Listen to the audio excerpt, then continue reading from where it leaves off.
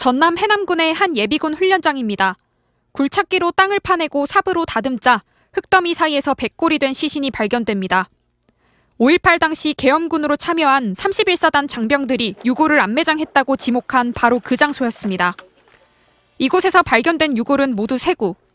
5.18 진상규명조사위원회는 5.18 당시 행방불명됐던 시민들의 유골일 가능성이 높다고 밝혔습니다.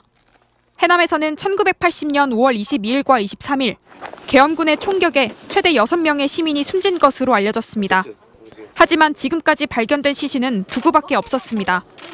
이에 따라 나머지 시신은 안매장됐을 가능성이 제기돼 왔습니다. 조사위는 발견된 유골 세 구를 5.18 당시 행방불명된 시민들의 유가족 DNA와 대조하는 작업을 벌이기로 했습니다.